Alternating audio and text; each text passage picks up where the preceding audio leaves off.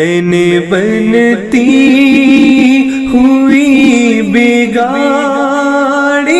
बात। मैंने बनती हुई बिगाड़ी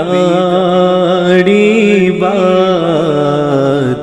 बात बिगड़ी हुई बना यार